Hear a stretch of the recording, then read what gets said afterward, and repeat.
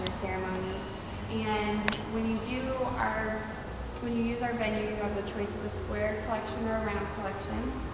These Chiavari chairs do um, excuse me, standard with the venue. So if you do like an all-inclusive package, we do all-inclusive or venue only.